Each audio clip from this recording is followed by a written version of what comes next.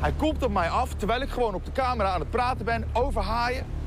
Hij opent zijn bek en bijt mij zo hier in mijn rechterarm. Wou we nog heel? Oké.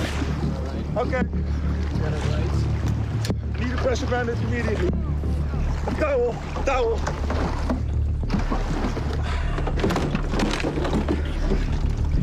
Okay, hospital.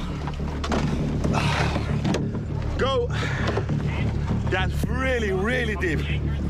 Really deep, guys. En ik besef me, dit is foute boel.